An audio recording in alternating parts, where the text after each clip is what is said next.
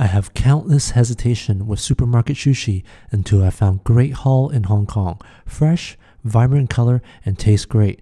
I went for seared salmon today. Four nigiri pieces for 5 USD. Asian food nerd, sub, and like.